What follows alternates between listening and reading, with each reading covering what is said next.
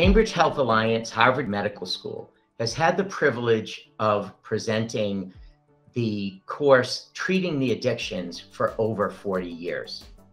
Utilizing a wide variety of addiction experts, we have striven to present state of the art information on the spectrum of addictive disorders. One such expert, Norman Zinberg, was one of our original course directors for this conference. Uh, after Norman's untimely death, we established the Zinberg Lecture in March 1990 to honor his legacy of groundbreaking contributions to the field of addictions.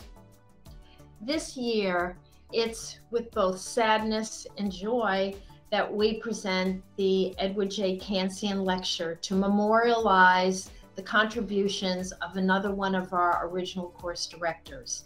As many of you know, Ed passed away a couple of weeks after our 2021 conference. Ed was too sick to participate in last year's conference, but he actively listened. And at the end of each day, as one would imagine, he texted, us with feedback. Among Ed's contributions to the addictions field is the self medication hypothesis. Many of the speakers this year will address different components of self medication. A talented group of, of people at the end in recovery will close the conference with a performance that pulls it all together. We also address the issue of provider health, which was another one of Ed's passions. In fact, Ed was the pioneer in helping establish the Massachusetts Medical Society's Physician Health Service.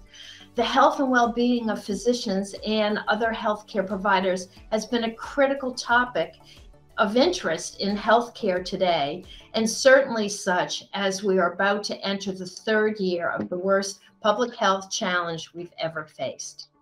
Whether you're joining the conference for the first time or you've been with us many times before, we welcome you to the March 4th and 5th conference. Thanks so much. We look forward to seeing you.